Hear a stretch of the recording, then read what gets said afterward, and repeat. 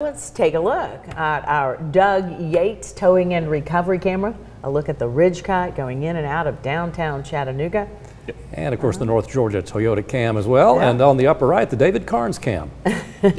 along with the North Georgia camera. You can't get better than that, can you? See the clouds overhead, but the clouds are starting to break up a little bit, as is the rain. We did have some decent showers east of Chattanooga. A lot of that beginning to break up now. And as we move through the evening, it's going to stay mostly cloudy, low 80s, eventually dropping down into the 70s. So with the showers ending, we're looking at ah, hot, muggy weather for the weekend. Low 90s both Saturday and Sunday. Heat index values are going to be in the mid to upper 90s. And with that, we'll see a couple of sporadic showers and storms best chance of showers and storms is going to be on Sunday, but can't rule out one or two late in the day on Saturday either. So low 80s, 82 right now in Chattanooga, Cleveland, Athens at 82, 82 in Murphy. At 82 in Chattanooga, uh, feels like 88. The heat index is pretty high, about 5, 6 degrees above the actual temperature that you're feeling right now. So 82, our high so far, that is where we are right now. 74 degrees, our low this morning. The clouds, the light showers keeping us well, well below the average high of 91.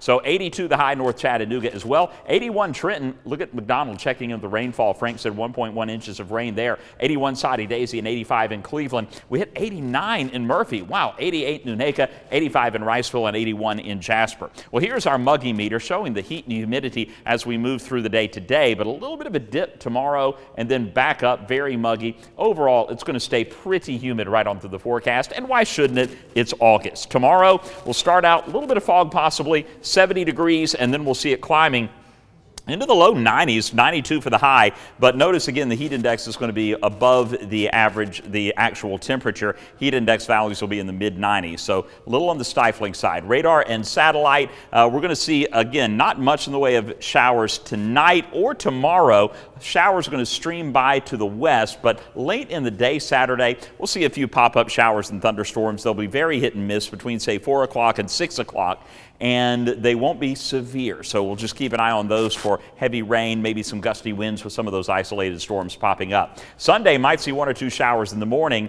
and then not much for the rest of the day, but late in the afternoon and the evening hours, notice you're going to see this little flare up of scattered showers and thunderstorms. So we'll keep an eye on that. No severe weather expected with that either. As we move into Monday, notice an approaching front, light rain for the most part. This green represents light showers, heavier rain off to the southwest. Tuesday, you're going to see another flare up of heavy rain to the southwest. And guess what? Wednesday, we'll have some showers again over the Tennessee Valley, but the heaviest rain off to the southwest. So, uh, northern Alabama, uh, you might see some pretty significant rainfall over the next few days. For us tonight, drying out, humid, patchy fog as we drop into the upper 60s and low 70s. And then tomorrow, hot and humid with a slight chance of an isolated storm late in the day after highs reach the upper 80s and low 90s. Our storm alert seven day forecast showing uh, rain chances increasing as we head into Sunday and Monday. Another chance of dry weather and even some lower humidity on Tuesday. A Tuesday should actually be a pretty nice day. And then we'll see that rain chance climbing back up toward the middle of next week. Low 90s Saturday, Sunday, and Monday, upper 80s every day next week.